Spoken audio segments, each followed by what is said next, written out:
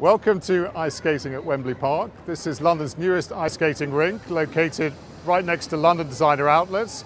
So you can come down and skate, enjoy a meal, shop the outlet centre, enjoy the Christmas market, or even go to the cinema. And we hope to see you soon.